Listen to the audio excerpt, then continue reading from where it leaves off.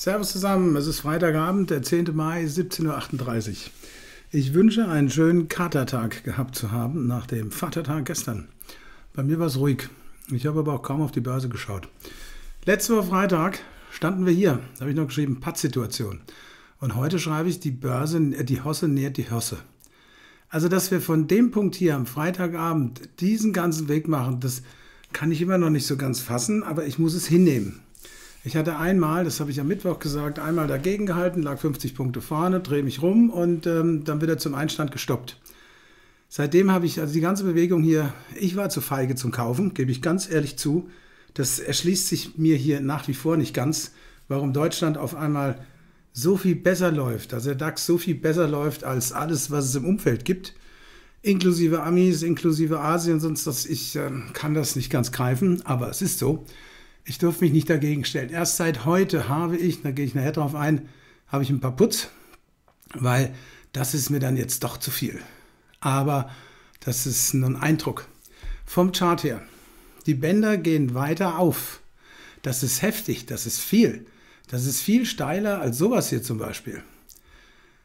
Dass der Bewegung nach oben entgegengesetzte Band, das macht noch nicht mal den den Anschein, den Versuch einer Stabilisierung oder eines Eintretens. Das heißt, von hier ist das Momentum immer noch da. Die Kerze von heute ist keine schöne.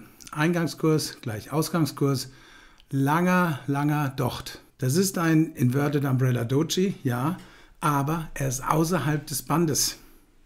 Das heißt, er ist nicht, wäre der jetzt wieder reingegangen, dann wäre es richtig böse gewesen. Aber so ist das einfach nur mal ein, naja, ich nehme mal ein paar Gewinne mit. Gewinne mitnehmen. Also, wenn ich mit zehn Leuten spreche, sind zwei Long, drei nicht dabei, dazu zähle ich mich, und 15 Short. Ja, also da ist nicht viel mit Gewinn mitnehmen von der Masse. Ist es nicht. Das ist kein von der Masse getragene Bewegung. So, von gleitenden Durchschnitte nach oben gerechnet, MACD weiter positiv, hoch, aber weiter positiv. Auch hier nicht den Anschein eines ja, Stabilisierung auf hohen Niveaus, gar nichts. Dieses Verkaufssignal nehme ich nicht als solches, denn mir ist es egal, wo der hier oben bricht. Siehe hier hinten, bestes Beispiel. Ich will den unter der 80 haben. Das hat er noch nicht gemacht. Das heißt, hier ist alles noch in Ordnung. Auch wenn jetzt durch diese Kerze hier das Momentum, sagen wir mal, ein bisschen eingebremst wurde. So gleich auf die 19.000. Ich glaube, dafür fehlt ihm der Mut. Ich habe hier verschiedene Linien eingezeichnet, da gehe ich jetzt gleich drauf ein. Ich fange mit der hier an, das war das alte Alltime high Aus einem Widerstand wird eine Unterstützung. Da sind wir also hier bei der, da ist es, bei der 18.570. Das ist die erste Unterstützung. Jetzt komme ich mal zu den kleineren Linien hier, da muss ich die Zeiteinheit wechseln. Jetzt gehe ich auf vier Stunden. Ähm, das war das Alltime high dieser Punkt hier, da sind wir bei 18.416, ist für mich die nächste gute Unterstützung. Einmal als Widerstand, zweimal, dreimal, viermal, fünfmal gesehen.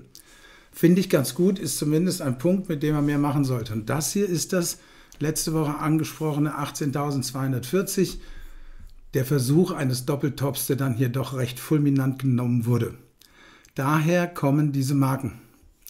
Auf vier Stunden Sicht wird es jetzt ein bisschen weicher. Da kann man da mal drauf schauen bei um 20 Uhr, wie das dann aussieht. Also, nochmal, ich war bei dieser Bewegung nach oben nicht dabei, gebe ich ganz ehrlich zu.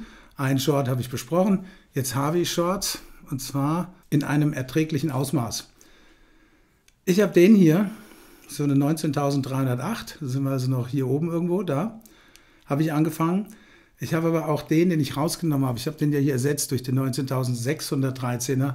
Da war vorher ein 18.918er.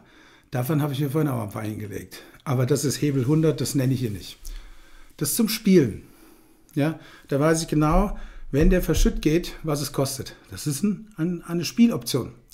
Das will ich also jetzt hier keinem empfehlen, aber ich mache sowas, ich stehe auf sowas. Hebel 100 finde ich immer gut. Also, ich finde, feiertags geschuldet, die Bewegung nicht umsatzgerecht, sagen wir es mal so. Das heißt aber noch lange nicht, dass wir jetzt hier gleich hier irgendwie runtergehen. Ich glaube auch, dass sehr viele Shorts hier gegrillt wurden. Ja, so ab dem Bereich 15.000, äh, 18.570 glaube ich schon, dass da einige Shorts gelitten haben. Ob die jetzt zurückkommen, weiß ich nicht. Solche Märkte, die so stark steigen, die fallen nicht so schnell. Das heißt, es wird ein paar Tage dauern, bis es überhaupt mal runterkommt. Und dann sind das hier die drei genannten Marken, wo ich zumindest mal dran denke, die Shorts zu reduzieren. Aber nochmal, meine Shorts sind so, dass es mir nicht wehtut und die Katze kriegt trotzdem ihr Futter in den nächsten laufenden Tagen. Ja, also das muss ich schon machen. Ich habe normalerweise, wenn ich da irgendwo shop bin, habe ich irgendwo Aktien dagegen. Tja, was habe ich? Mercedes. Das war völlig für den Anus. Ja, also sie wurden dann auch, kurz vor der Dividende wurden die dann ähm, gestoppt, weil das hat überhaupt nichts gebracht. Ich habe auch Sixt, aber auch das ist so sowas von tot hier unten, da passiert gar nichts. Ja, ich habe leider nicht das Glück gehabt, eine Siemens Energy gesehen zu haben oder auch eine Infineon. Das ist so, das muss man einfach mal so mitnehmen. Also ich bin hier eigentlich zum Nichtstun verdonnert, außer dass ich mir jetzt mal ein paar Putz geholt habe übers Wochenende. Mit denen fühle ich mich wohler, als wenn ich jetzt hier noch irgendwelche Calls kaufen würde, in der Spekulation, dass der Markt nochmal, was weiß ich, 200 oder 300 Punkte hochgeht. Aber ich bin hier also sehr, sehr ruhig. Von den zehn genannten Leuten eben bin ich einer der drei, die fast hier nichts machen.